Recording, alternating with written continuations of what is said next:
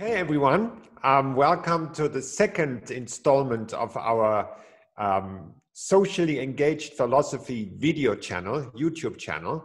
Um, today, our topic is science and values, and I'm glad that again I'm joined by Alex Reutlinger, um, our expert, um, who will probably start us off and tell us something um, what he has found out about science and values. Alex, nice to see you.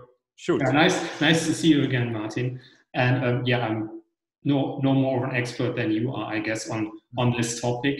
But I thought, kind of, for um, our chat today, we could um, kind of begin with um, uh, the following question. So, science and values. That sounds like a very big and um, broad topic but somehow you have to enter this this whole discussion and topic and I think one um, way to do so is to ask the following question. So, can science um, be value laden? Yeah, in the sense that um, moral and um, political values somehow enter scientific research, and at the same time, uh, the scientific research that is value laden is also uh, still good and reliable scientific knowledge. Yeah, do these two things go together? Are they compatible? Being infected by values, so to speak, and being reliable knowledge. Mm-hmm. And I think one um, common view that people in um, philosophy of science and other fields of science studies held for some time and I think also a pretty common view outside of university buildings is that um, the answer is no. That's not possible. Yeah, somehow um, being value laden, um, involving certain kind of evaluations of moral and political kinds, um, diminishes the value of the knowledge that's produced in science, and um, hence or that's the, the idea, we should, um, well, keep science free of these values. And if we do, then it's good science. And um, so the argument goes, or that's the, the view kind of more explicitly, um, somehow that's what makes science objective and reliable and whatever you like about science, this absence of value judgments. So mm-hmm. that's one view and maybe one entry point for us um, to get into this discussion. What do you think about this? About this? Yeah, great. Um, let me let me try to a little bit unpack that what you said um, for those of us who are not so familiar with those um, with those topics. Um, one thing that I feel is worth unpacking a little bit is the very notion of what a value is. Um, maybe we could say quite generally that a value is a commitment um, or something that one is trying to achieve, a goal, something that one deems worthy of pursuit. Um, so, like a classical example would be like moral values, like kindness, um, moral goodness, or values like justice in society. Or, of course, values could also be bad values. Um, there could be values like an interest in profit. Well, if that is always bad, or, you know, we can easily imagine some more um, vicious and mean things that people strive for and that they deem valuable. So, when we philosophers of science talk about science and values, it's worth pointing out that we don't just have the good values in mind, we have all values in mind. Because obviously if it was just about the good values or the very best values then the issue of whether values in science is a problem would never really arise because we could easily um, see that well if science promotes those values that's all for the good. So the worry is are there vicious values? And of course the second thing one needs to emphasize is that one person's good values is another person's vicious value. Um, as someone who is interested in the history of especially the social sciences, I'm keenly aware of the fact that for as long as we have social sciences, roughly for the last 120 years or so, there has been one debate over social science and values after another. And what is quite typical in the social sciences that one has controversies in which each side accuses the other side of bringing in social political values that shouldn't really be brought into science. So it's worth remembering that whenever one discusses science and values, one often discusses them in terms of accusations, right? I mean, think about someone like Trump, who says that the problem with climate science is that these climate scientists are all left wing liberals that use climate science as a means for controlling our lives. At the same time, um, climate activists like Friday for Future will say about Trump that he's bringing in his profit interests and um, the interest of the coal industry, the, the value of profit, in order to, and he, he undermines climate science in order pr to promote those values. So we're talking about something that is fiercely contested, right, in our, in our life. All the more reason, therefore, for us to make clear for ourselves how we want to think about this topic quite generally. And I guess that's the thing that you really invite us invite us to do. That's right. And I would like to come back to this issue of controversy. So, different things you can criticize um, about um, this relationship between science and values. But I think you're, you're exactly right to um, be a bit more precise on what values are. I mean, you already made a start, and I wanted to add something on this topic of verification. Um, and um, kind of with reference to recent debates in philosophy of science, I think uh, it's important to realize that this position that we call the value free ideal, this idea that um, good science is free of values, hinges on a certain distinction between um, what is sometimes called epistemic values and non epistemic values. And roughly put, um, an, these values are properties of theories, models, hypotheses in science that scientists are said to appreciate or like. But they are very different.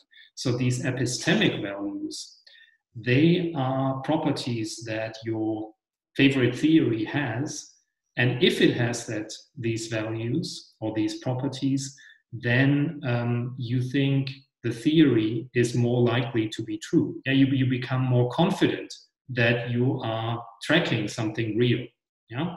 So what are these epistemic values? So a lot of people think if your theory has the property of being compatible with available empirical data, or if it makes very good predictions repeatedly, then uh, this is an epistemic value of the theory because if it does these things, then you should be more confident than you were before that um, this theory that you like is true. But, and that's the important thing, not all values that might play a role in science are of this kind. Some of them are non epistemic values, and um, this is a pretty mixed bag of things and motivations, interests, things um, one appreciates or likes. I mean, there are, for instance, just to name two or three. So one is um, sometimes uh, called um, an, uh, one type of non-epistemic value is sometimes called pragmatic or cognitive. And um, a prime example in this group of values is the simplicity or mathematical elegance of a theory. That's certainly something that uh, scientists appreciate some of the time, but um, it's usually not taken to be an indicator of um, truth. Yeah, your, your theory might be simple but false. Yeah, I'm saying this just as a standard view. This is controversial. Some people think that's not the case, but it's uh, one illustration of um, a pragmatic, non epistemic value. But there are, perhaps for our discussion, more interesting kinds of non epistemic values. Yeah, so you might think that um, there are social values, moral values, political values that um, somehow play a role in science. Yeah, so to promote health or well being or social equality or democracy, um, or to prevent certain kind of harms to the environment, to prevent climate change, or um, what have you, things like that, even to make profit. Those are perhaps the more interesting non epistemic values that um, are important for our chat today. Mm-hmm. And um, the point is um, if you if you have this value-free ideal view of science, then you think uh, science should be free of these things. Yeah, praising democracy, um, saving the environment, promoting social justice, um, well-being of people. That's uh, because these are non-epistemic values. They have nothing to do with the truth, which may, might be conceived as the ultimate goal of, of science. Mm-hmm. Great. Yes. Um, again, um, um, this brings to mind different different um, uh, little snippets of, of ideas that that come to mind relating to this. One bit I want just want to give our viewers an illustration of how um, one person's um, epistemic value is another person's non-epistemic value. Um, here's an interesting one, namely simplicity, one that you already mentioned. Um, for many centuries, scientists actually thought that um, simplicity is a prime example of a really good indicator that a theory is true. And it's interesting to note the context in which they often thought this. They thought that, well, the world is designed by God, and God will always prefer the most simple and elegant solution. So, therefore, God will not um, uh, rule the world by messy and complicated laws of nature, but God is likely to settle for the most simple laws of nature. Therefore, if we have two theories, and the one theory is more simple, has less laws of nature, is less complex, then that theory is more likely to be true. Now, while that made perfect sense in a theological context or in a form of science that was informed by theological considerations, it's not obviously true for a science in which theological considerations do not play a role. Because if there is no grand designer, why should the world prefer um, the most elegant and simple solution and not, in fact, be governed by an extremely messy one? So that is an example of a of a case where one person simple theory, um, which is an epistemic value, which makes the theory more likely to be true, for other people will not be such an indicator. Another idea that came to mind by, by, by what you said is that we should, um, um, we should always be clear about that there are many different ways in which a value, let's just focus on the non epistemic values now, the clearly moral and political ones, yeah. um, which that they can come in into science in different ways. And some of these ways will be acceptable to everyone, even to those who are defending the idea that science should, in some fundamental sense, be value free. So, for example, even a person who might insist that science should just be guided by the truth might very well think that the choice of research topics is no doubt um, influenced by and maybe should indeed be influenced by by values. Um, so if we have if we can if we only have money and personnel to pursue one of two research projects, and the one say is trying to find out what happens at an at a planet um, uh, you know 50 light years from here, and the other one is curing cancer um, then this is, this is clearly a value guided choice. Um, but no one will object to, well, few people will object to the idea that in that case we are perfectly entitled to make that judgment on the basis of a value. I guess the, the unease about values intruding science come in not at the point of choice of research topic, though sometimes they do even there uh, cause debate, but people get really worried about them when they fear that those values, and you already said as much, that those values guide our choice of which theory to accept.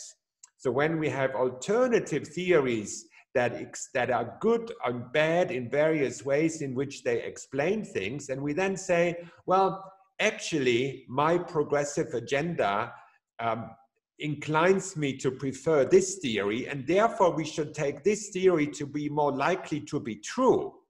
So when like values guide theory choice, or when like values guide which data to give attention to, um, those are sort of ways in which many philosophers and many scientists get nervous when sign when, when values come in at these points of choice. Yeah, right. I, I think this is um, kind of um, reflecting an important um, part of the debate in philosophy of science. What what what you've just said mm-hmm. that in some sense it is more or less controver- uncontroversial. That um, if you think about what topic should we work on, um, which projects should be funded, which shouldn't, those uh, certainly um, are these decisions are certainly based on value judgments. Yeah, so we think, what does our society need? Um, do we need this sort of research, um, uh, or rather that sort of research? Do we need research that deals with, for instance, uh, a pandemic? Um, maybe yes, maybe no, and that's certainly value guided. Mm-hmm. And uh, that's right, at the heart of scientific research, one might say, once the topic is chosen and we've picked a certain methodology to pursue or investigate a topic, and we start gathering data, representing data, and um, finally interpreting data. What do they mean? Do they are they really pro, um, kind of making a certain hypothesis more likely to be true rather than not? Um, that's the crux of the matter. Yeah, that's where uh, people say, no, in these stages of a scientific research project, values have to be kept out. And I think it's interesting. Um, and let, let me add before I make this other point I just wanted to make is I think it is um, not some, I mean, there is a, a crazily strong version of um, the value free ideal. Um, that is, science should be free of values, period. And that sounds a bit absurd because, as you said, of course, no one really denies that um, picking a question that's supposed to be on the research agenda shouldn't be value guided. Um, that's probably a straw man. Nobody holds this view. Um, and uh, the question is whether there isn't a kind of um, less extreme, much more convincing or sensible version of what we call the value free ideal. Yeah, it's a sort of piecemeal value free ideal. You say, for instance, well, this part of the research project could be free of values. Or uh, to pick up something you said early, um, earlier in our conversation, perhaps you say, well, in this part of the research, a certain type of evaluation shouldn't come up, but others are fine. Yeah, so that sounds like you are still kind of a modest defender or advocate of the value free ideal, but um, it's a much more sensible um, version than this hardcore strict version that allows for no yeah. values at all. Does that make sense or? Mm, yeah, yeah, yeah. No, yeah. the one bit, the one bit that I would like to add as a further complication um, which also kind of reflects some of the debates that happened in and around science. It's one thing to say, should science be value free? And it's another thing to say, can science be value free? Yeah. Um, it's sometimes said in, in moral philosophy that, that ought implies can, that one can only say that one ought to do something if it actually we are able to, to do it. And um, if one looks at say, many debates uh, in the sociology of science and in the history of science, there much research goes into documenting that even our very be best science, people like Newton, people like Einstein, um, uh, quantum people working in quantum mechanics, were often motivated and influenced by considerations that strictly speaking, we would count as considerations more falling on the side of non epistemic values um, than just purely motivated by values falling on the other side. So we should always keep in mind that when we ask this question, should science be value free? Um, we should always say, well, should it, ought it to be, insofar as we can actually do it? So we might say, um, one position might be is that in certain areas we should strive towards keeping certain values out, leaving it an open empirical question to what extent human human scientists have actually been able to do this in the past. Yeah, right. and uh, I just since we're um, at this at um, well, sort of um, presenting considerations that um, call into question this, um, this value-free ideal, however moderate in formulation or articulation. Um, I just want to mention um, a couple of um, arguments that are very prominent in the recent debate on where um, values can enter. Yeah, apart from picking a research agenda and things like that, where everybody would say probably quite quickly, yeah, all right, it's not a big, of course, values enter there. Mm-hmm. So I think one important consideration is um, the sort of the, the concepts used to, um, well, formulate the hypothesis you are actually testing in your study. Yeah, so think about um, concepts that are themselves somehow value Yeah, so if you're interested in doing a research project on, let's say, economic inequality in Germany or Austria, or on genocide, or on um, aggression in certain social contexts.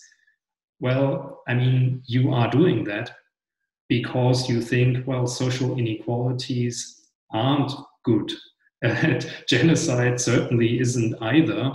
And aggression is, at least generally speaking, certainly also not good and that's part of your motivation to do that research yeah so um, they have a descriptive component these concepts and this descriptive component and making that measurable that descriptive component is certainly a task for the relevant scientific research but still these um, concepts carry um, an evaluative um, component as well. And that might be the very reason why you're actually doing these research projects. Yeah. Mm-hmm. So that's one point.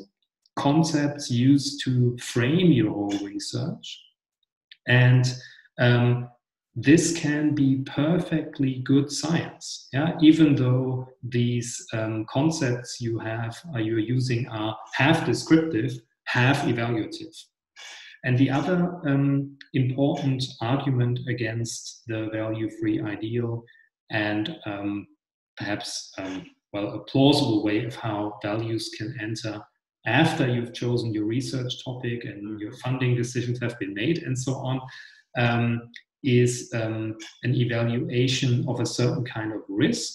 So if you accept false hypotheses, so for instance, you are um, investigating whether a new drug has certain side effects, lethal side effects, and you accept, given the data you have after doing experiments, the, the hypothesis that it doesn't have these lethal side effects, but you're wrong. Yeah, that it's just uh, you had you didn't have enough data, you were just unlucky, you accepted a false hypothesis, and now the question is: suppose based on that hypothesis you develop this um, new drug and you sell it on the market, patients take it, and let's suppose grave consequences of that are uh, 1 million people die.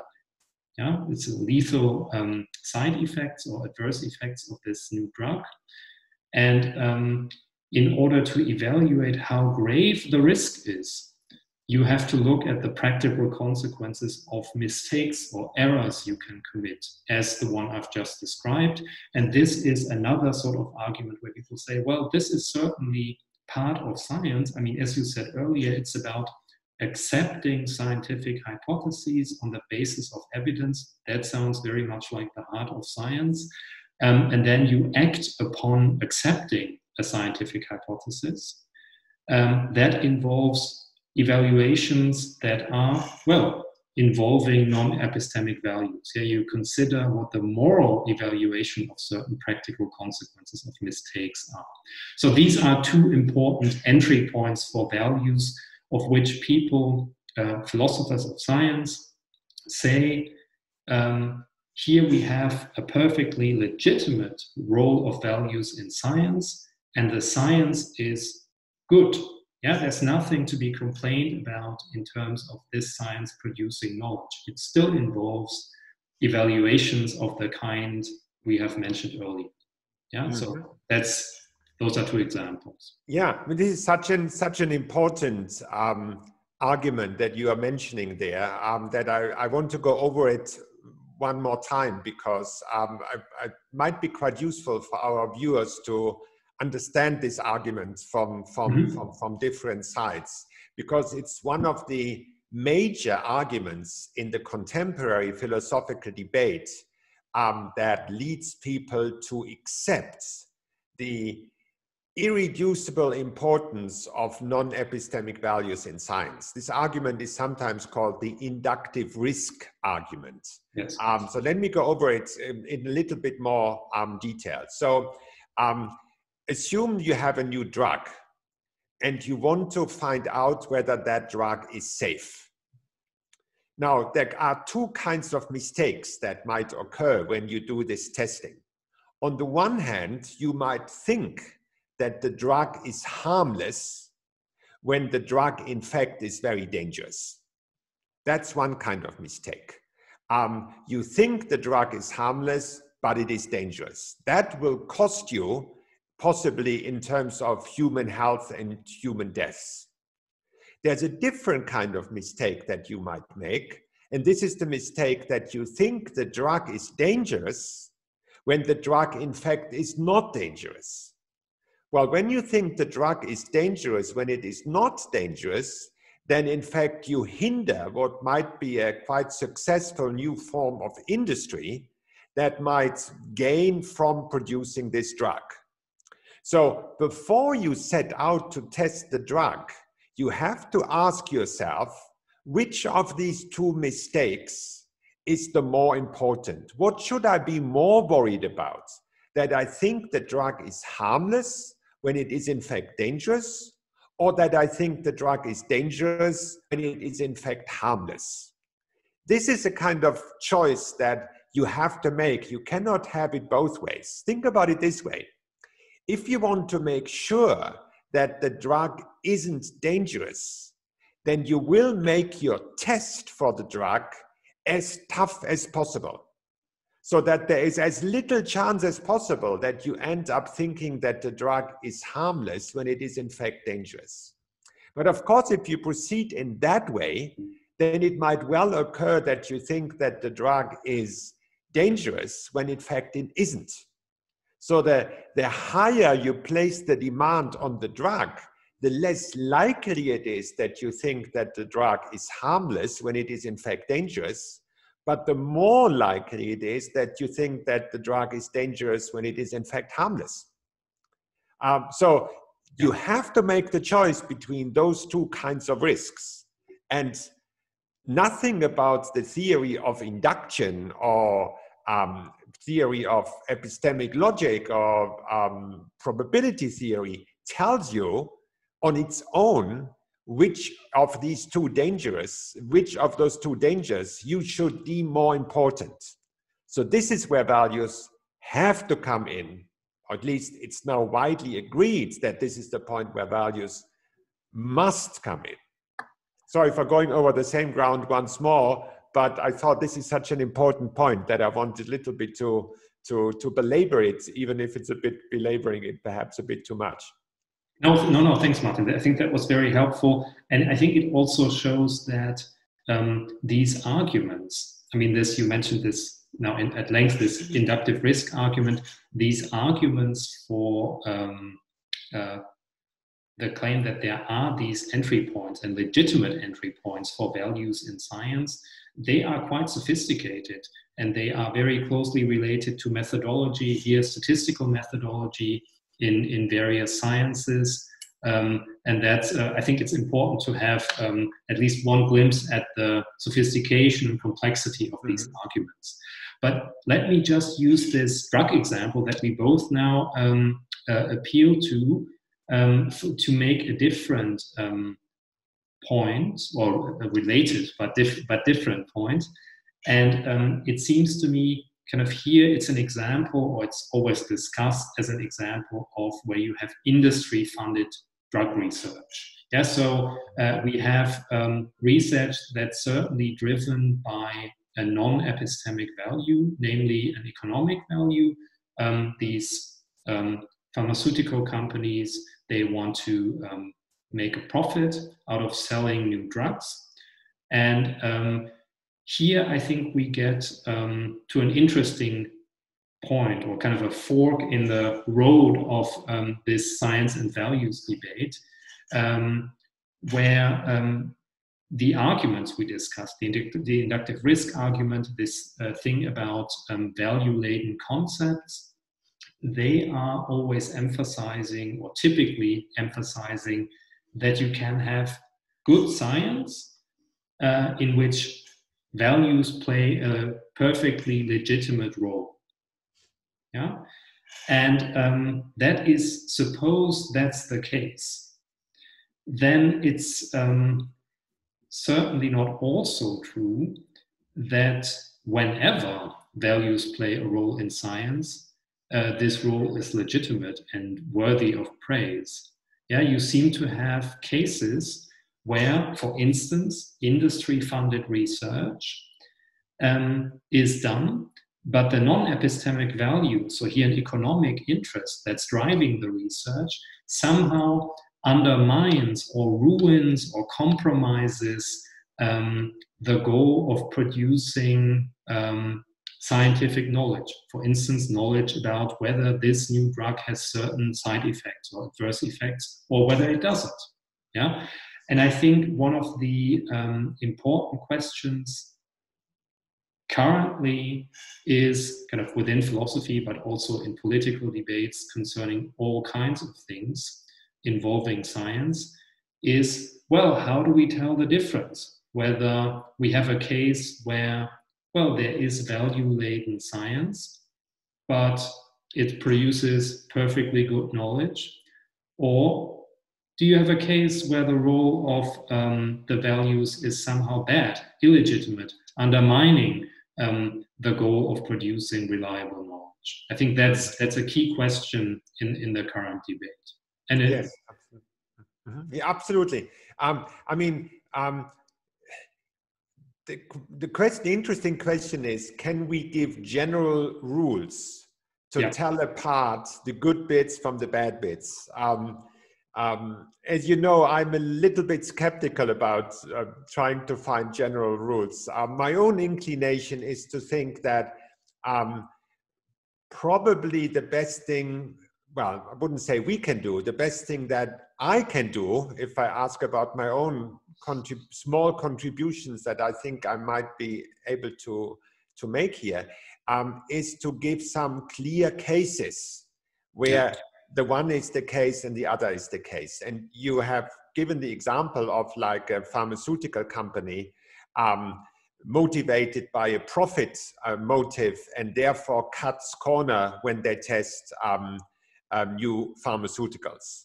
of course, we can think about the tobacco industry famously um, sitting for decades on, on medical research that they were suppressing um, in order to, to sell their cigarettes, while at the same time the executives of the tobacco companies stopped smoking. So there was, an, there was a case of like suppressing science or in fact manipulating science with a profit motive to prevent the truth from coming out. Now, it's easy to see that those are cases where we think values are completely unacceptable. On the other hand, um, we had the inductive risk case, which is a, Um, someone might say, yeah, but how often does that occur in science? Isn't that just a specific thing about medical research? So people might say the inductive risk argument is kind of a bit of a marginal phenomenon. Um, but leaving that to one side, just how general, how common the case is, I just want to give an example of like the other end, where you might think that um, someone might go out and motivate the central role of values. Clearly, um, some people have said all of climate science is through and through value laden because after all the whole purpose of climate science is in the end to guarantee the well-being of the next generation and more broadly speaking the survival of the human species there's one way in which the values might come in or think of to just have another clear case in the mix. Think of someone and this goes back a bit to my earlier mention of aren't there lots of political values playing a role in science anyway. Assume that you are a feminist and you believe that much of Western biology is through and through influenced and shaped by um, male bias and negative portrayals of women. And you therefore think that you can't just simply fix it by saying, oh no, let's now be value neutral, because when you think you're being value neutral, you are just perpetuating the androcentric biases of traditional biology. Maybe, maybe our whole mindset when we do biology is shaped by male bias.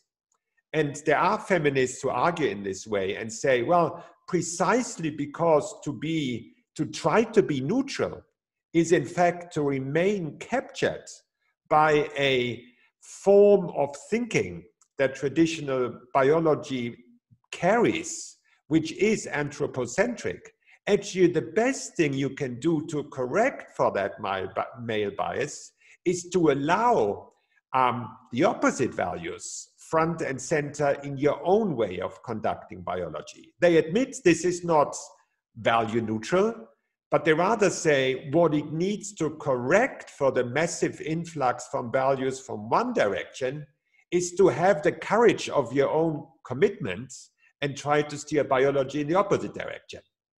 Now, I'm not quite sure to what extent and in what all areas of biology I find that argument convincing, but I have to admit that it has quite a bit of um, intellectual pull on my own thinking um, in those areas. So those were just two or three cases that pull us in rather different um, directions, all the way from the from the utterly vicious to let's think about the Nazis trying to suppress certain forms of physics simply because of the involvement of, of Jewish physicists, all the way to climate science, all the way to feminist critique, say of, say of biology.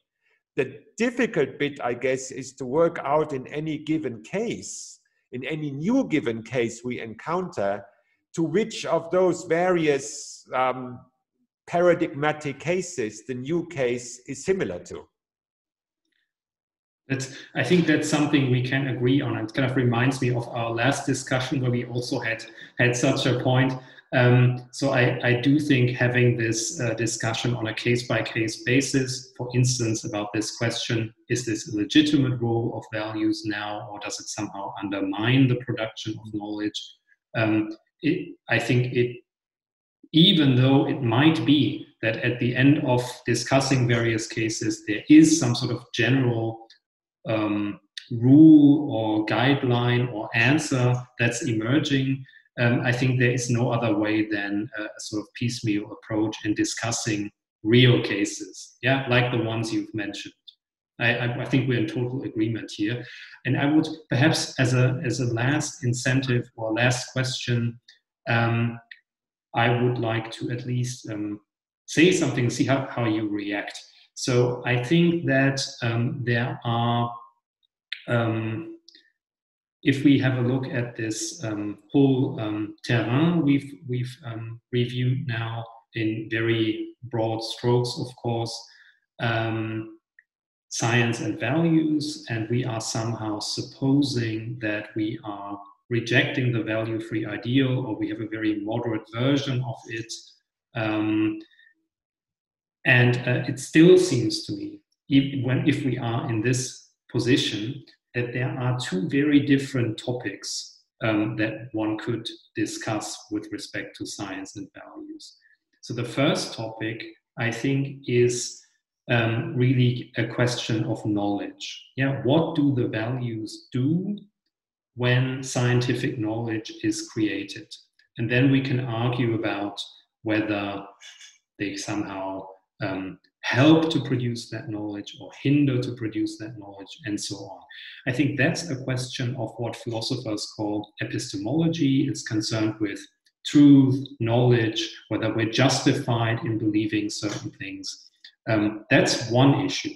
Yeah, and I think, and maybe here you might disagree, this issue is to a certain extent independent from the next issue that I will uh, talk about now.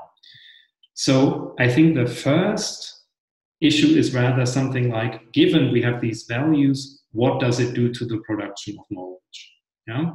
And the second point is rather talking about the evaluations themselves.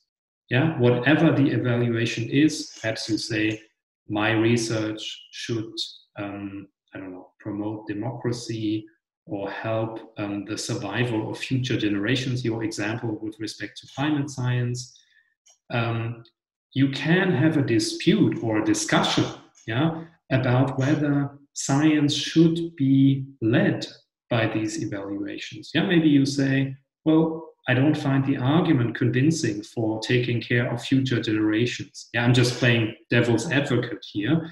But I think having these these sorts of discussions is really engaging in moral debate and political dispute, depending on the exact nature of the evaluation.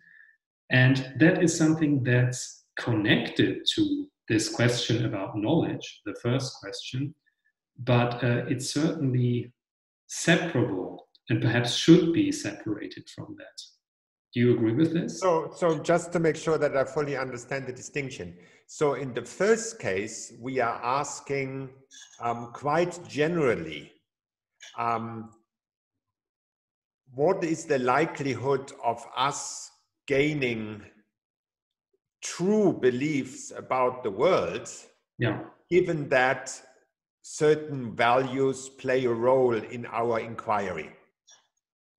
I mean, it's an epistemic is yeah. an epistemic question to the extent that we ask do these values make it more likely or less likely that we reach true beliefs and to what extent? That's the first question. Yeah, I think that's one way of, of understanding. Okay, yeah, I'm just, just trying to, to get my head around it.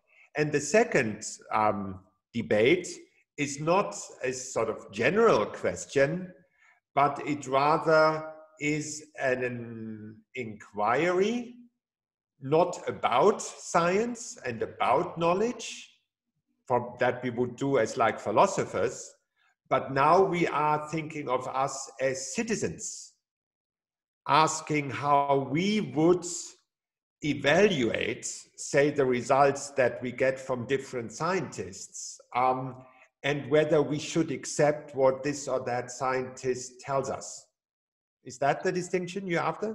I think that's this um, view as um, citizens. I think that's that's a very good way of picturing one particular case of what this second sort of question could amount to. Yeah, you could say, um, well, we get this piece of knowledge from science. It may be value laden, but now we ask, what does it mean for a certain political decision we are facing? Yeah, that's certainly um, an instance, an example of um, the second sort of question. And I think that is really um, that's a political debate among citizens, and that should or could be separated from um, these questions of um, I don't know, evaluating inductive risks or whether there is a role for values in in, in um, evaluating the consequences of making a certain kind of mistake. Okay, so so just just to just to make sure that I fully understood it, and maybe also help our viewers to to get crystal clear on on on, on the distinction.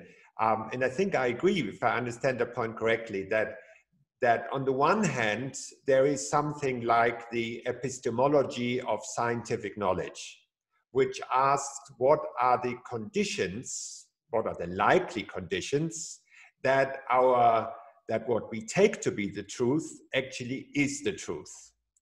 And when we ask this general question about the um, success conditions of our scientific knowledge, success with respect to truth, then we can ask what role or not should values play and which values. So that's something that we do as epistemologists. But we can also wear a different hat and become political scientists of science. Then we ask something like, how does scientific knowledge fit into our political life? Yeah, maybe, maybe this is the way to put it. The first question is, how does a certain element of politics um, what role should it have in the production of knowledge is the first question. And the second question is what role do, should scientific knowledge play when we decide how to live our lives, how to organize our political life, and how do we make political decisions involving science? Is that another? Yeah. I mean, I that, think, does that capture it? Yeah, I think that captures um, what I wanted to say. Okay. And I think it's important, one could at least discuss whether these are different um, questions, to which extent these are different questions. And maybe it's a good thing if um, these are different questions. So, what I wanted to highlight is um, there are very different concerns that you can have in this um, model of um, a topic, values and science. Yeah, some are more of this how do we live together? Yeah, and more of, a political question, and the other is more concerned with um, well, something one could say workings that are internal to science. And they, these questions might involve values uh, that are not that important for um, for um, other political discussions in, in which citizens are involved that aren't scientists. Yeah, no, I mean, I, I, I think I, I share your, your, your view that these questions may not be totally distinct, yeah. but that no, that obviously they can't be totally distinct. But I also agree that their their main emphasis and their main direction into which they look, um, these two questions um, are worth distinguishing and are not are certainly not much is gained by simply conflating them. So I think we, on that point, we are we absolutely agreed.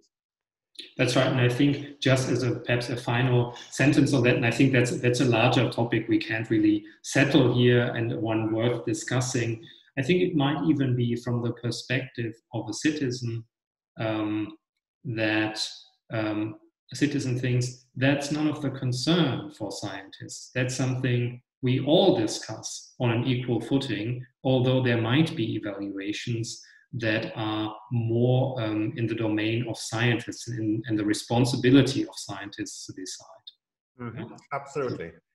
Right. So we have we have we have tried to bite into a very big topic um, today. We are, of course, totally aware of the fact that um, that we have only scratched the surface of this difficulty and complicated issue.